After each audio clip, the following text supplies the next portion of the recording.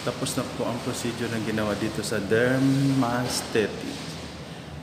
Bye-bye.